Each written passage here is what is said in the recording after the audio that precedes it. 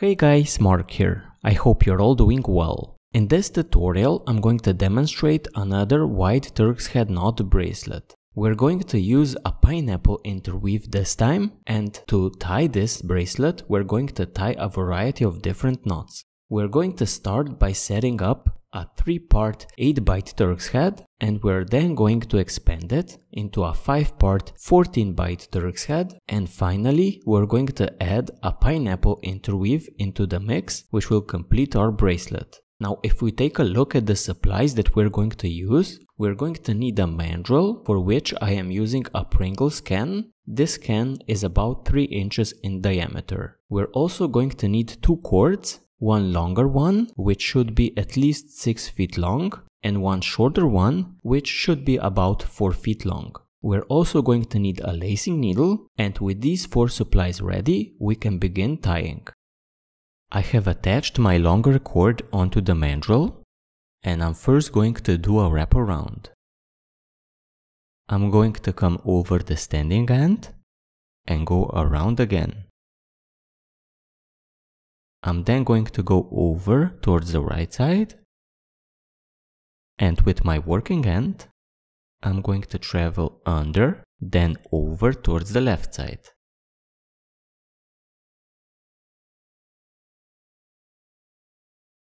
We now have three cords at the top, and I'm going to start with the middle one and place it over the right one. Then with my left cord, the working end, I'm going to travel under, then over towards the right side. We have three cords again, and I'm going to pick up the middle one and place it over the left one. Then with my right cord, which is the working end, I'm going to travel under, then over towards the left side. With this we have tied a 3-part 5-bight Turk's head. We're going to expand it again by picking up the middle end and placing it over the right one. Then with the left cord, which is our working end, we're going to travel under, then over towards the right side. And again, three cords at the top, and we pick up the middle one and place it over the left one then with our right cord, we travel under, then over towards the left side. With this we have tied a 3-part 8-bight Turk's head. We're now going to expand it. And the first thing we're going to do is double up our standing end. So we're going to travel under, then over towards the right side.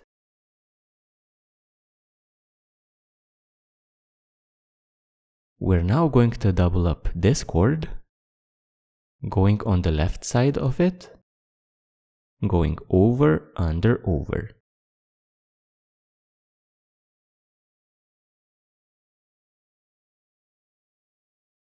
We're now going to double up this cord, going on the right side of it, over, under, over.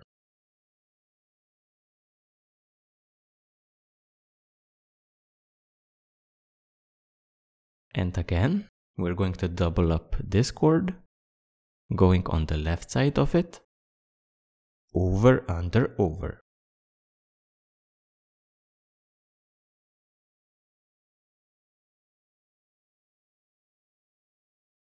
And this cord, going on the right side of it, over, under, over.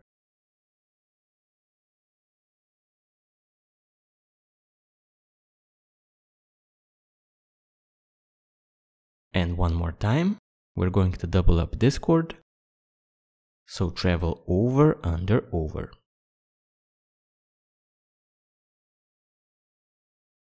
We have now set up the tracks which we now need to split. And the first tracks that we're going to split are these, which include the standing end,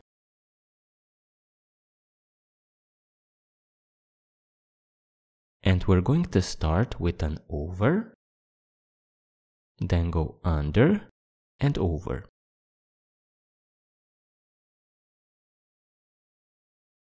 Then we move on to the next pair of tracks. Spread them apart.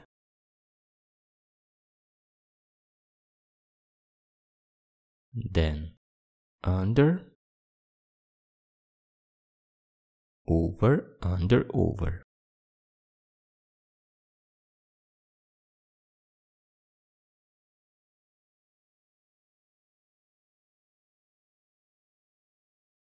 And the next set of tracks, again spread them apart and do the same sequence. So, under,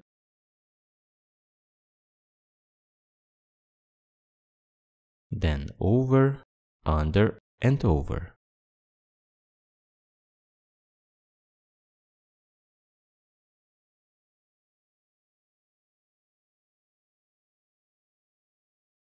And the next pair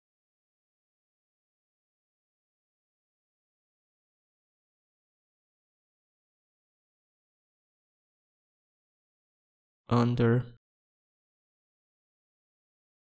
over, under, and over.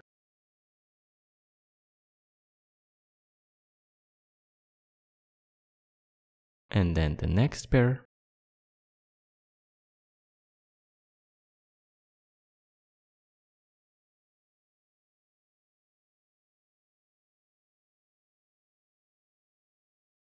Under, over, then under and over. And we're now at our final pair. This pair. And again, we start with an under.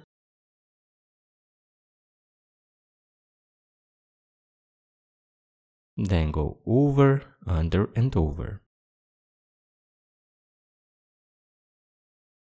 With this we have tied our 5-part Turk's head and we're now going to place our working end next to the standing end and this will complete our knot.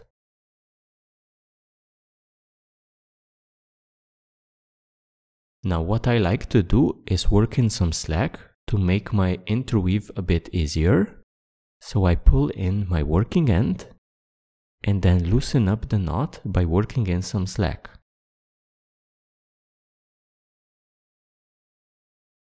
As you can see, I have worked in some slack into the knot, which makes it look nicer, but more importantly, it makes it easier to work with.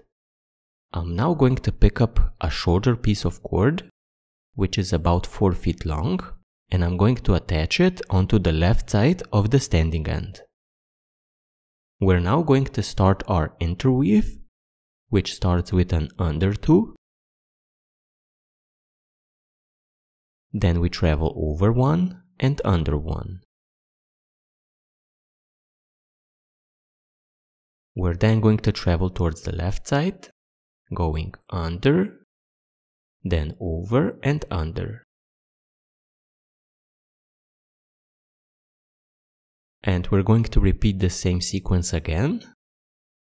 So under, over, under.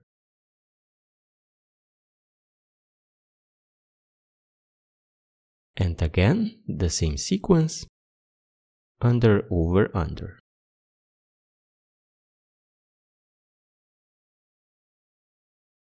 And again. Under over under. And again. As you can see, we repeat our sequences quite a few times because this is a wide Turk's head knot. And again under over under.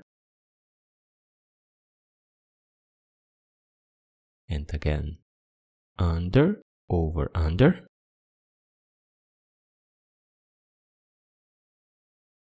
And one more time. Under over under. We're now going to switch up our sequence a bit by going under then over 2, which splits a pair, then under 1. And again, same sequence, under over 2 under 1. And again, under 1 over 2 under 1.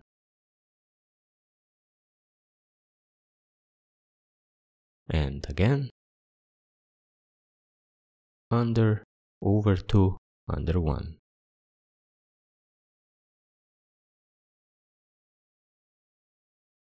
And again, same sequence, under over 2 under 1.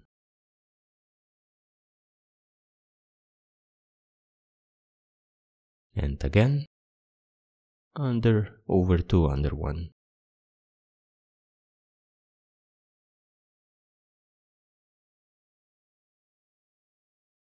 Under over 2 under 1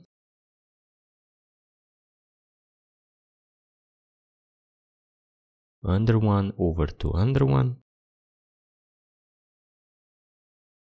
and again. Under over 2 under 1 and one more time.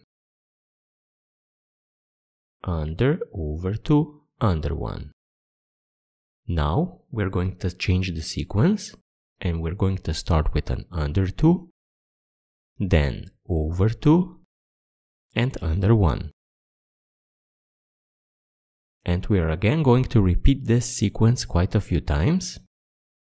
So under 2, over 2, under 1. Then under 2, over 2, under one. And you can see the pineapple interweave forming on the bottom side. Continue again, under 2 over 2, under 1,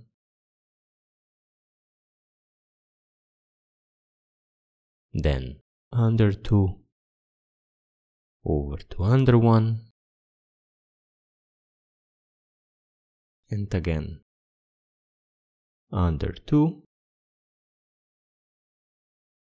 over 2 under 1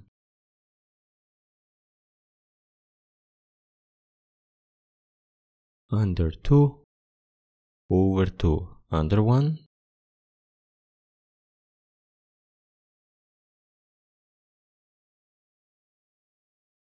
under 2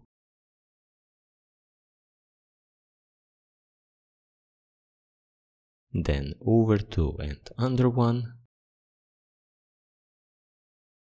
and finally under 2, over 2 and under 1.